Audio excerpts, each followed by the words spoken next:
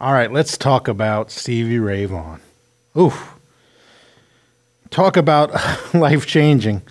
For me, nobody really changed my life as much as this guy did. Um, I started playing guitar at six years old, and I was into BB King and Albert King because my dad liked the blues and he had a lot of records.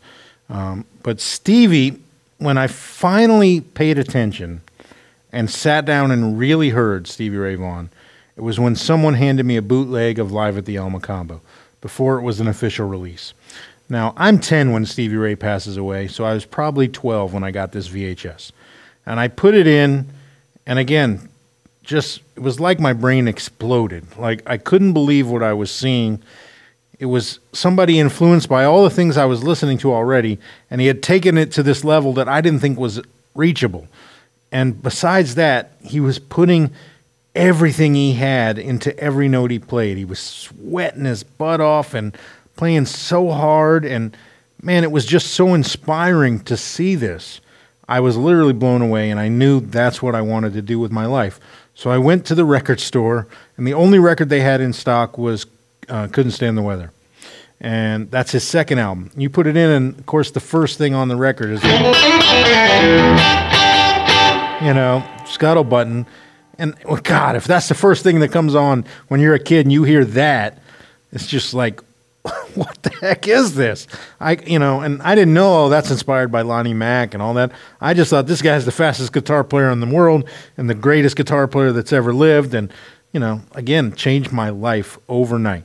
Now, as I dug deeper into Stevie Ray and got all the records, I started to hear how much he loved Albert King, how much he loved Otis Rush, how much he loved B.B. King, Jimi Hendrix, you know, what he was listening to.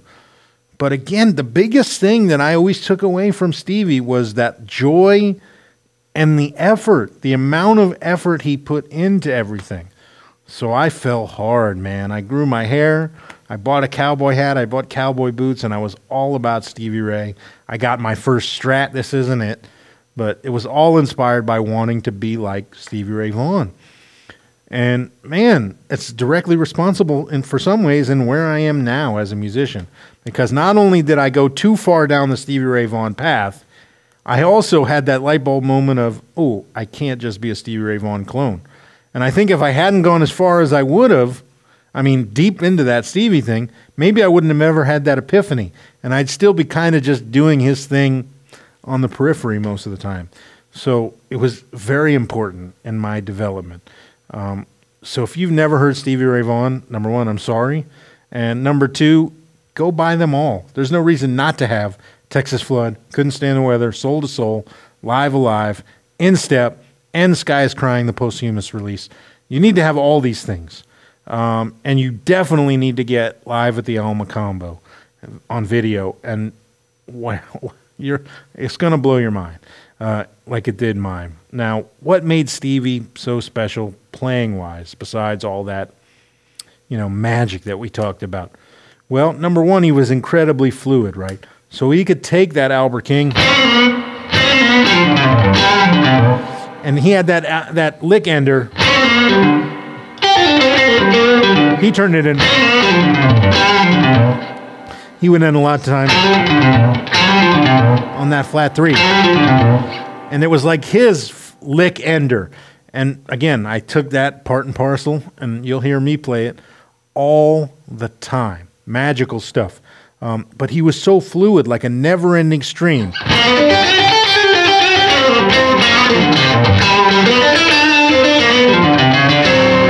Special, special stuff, right?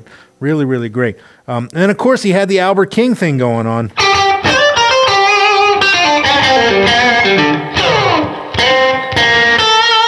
Now, he played it with a little more gain.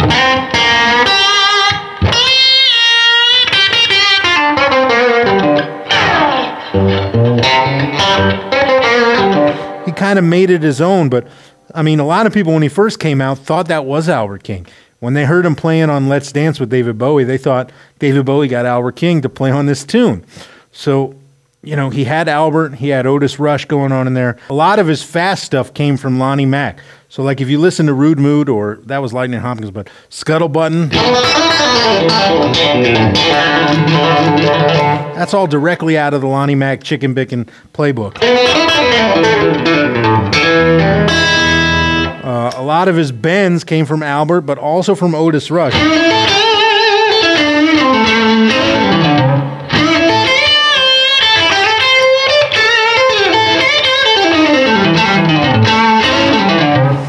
That little phrase ender. Um,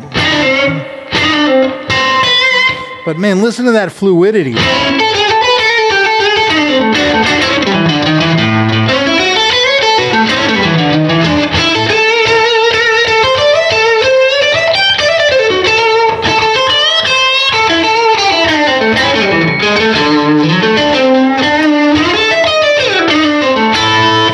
He was so quick and fluid. And yeah, that when I heard stuff like that, I had no other feeling but I want to do that.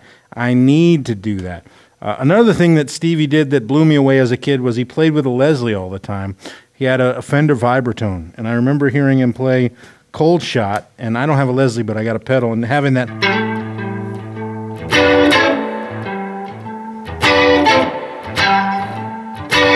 And having that little thing that he would play. Playing licks like.